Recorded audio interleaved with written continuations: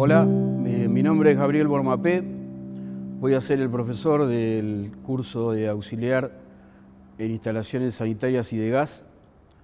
Y bueno, quería contarle un poco quién es y cuál fue mi recorrido. Em, soy arquitecto recibido en la Universidad Nacional de La Plata y también docente en la Cátedra de Instalaciones eh, desde hace 20 años. Y desde hace aproximadamente cuatro años soy docente en la Escuela Universitaria de Oficios.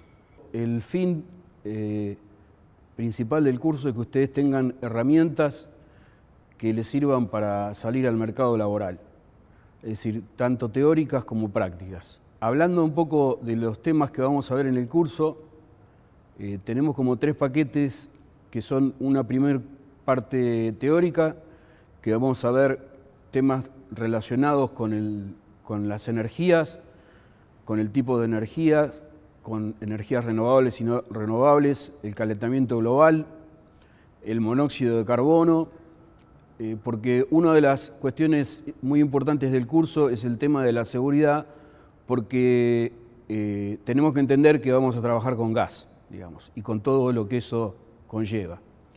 Eh, en una segunda parte ya veríamos directamente, entraríamos en la cuestión de las instalaciones, de todo lo que tiene que ver con cañería y accesorios y los artefactos en gas, y en la última parte los mismos temas, pero por supuesto en todo lo que tiene que ver con instalaciones sanitarias, que sería este, instalaciones de agua fría y caliente y eh, de desagües.